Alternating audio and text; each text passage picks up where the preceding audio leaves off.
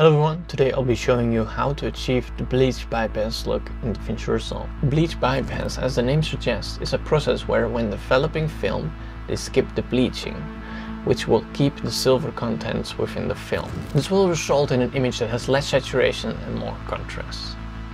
I'm going to show you how to replicate that result within the Resolve right now. So here within the project I have a very simple setup.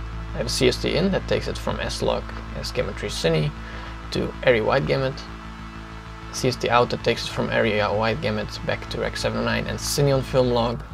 Then I have a film LUT here from the DaVinci Resolve under film logs and then the Kodak D65. We're gonna add another node behind the CST in by pressing Alt S or just add node, add serial.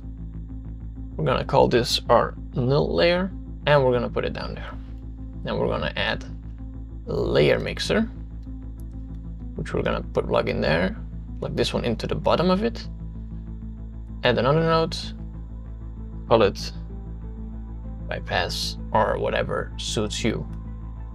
Plug it into the top of it, and now the interesting part. To replicate this, we're gonna grow, put down the saturation to zero, and probably put the contrast around 0.5, depending on your image.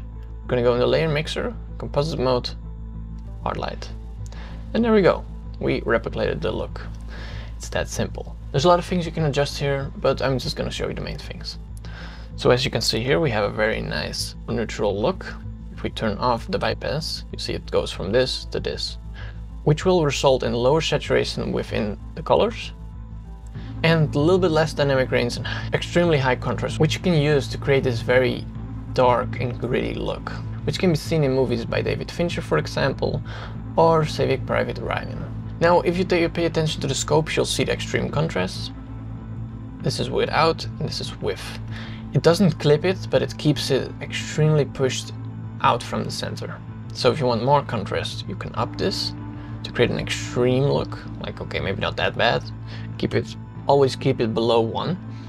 But you can also make it a very light look on this level, for example.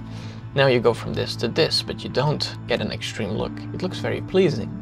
Very natural, in my opinion. And yes, if you were wondering, this also works on a black and white image to create that extra little bit of punch.